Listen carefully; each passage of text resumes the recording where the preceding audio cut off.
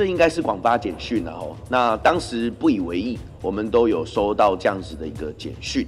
不管是支持国民党、支持民进党、支持民众党，我们还是呼吁要理性的探讨、理性的去看待对方支持者所做的任何的一个呃支持行动。我们希望我们的支持者应该站出来，用言语上的一个支持。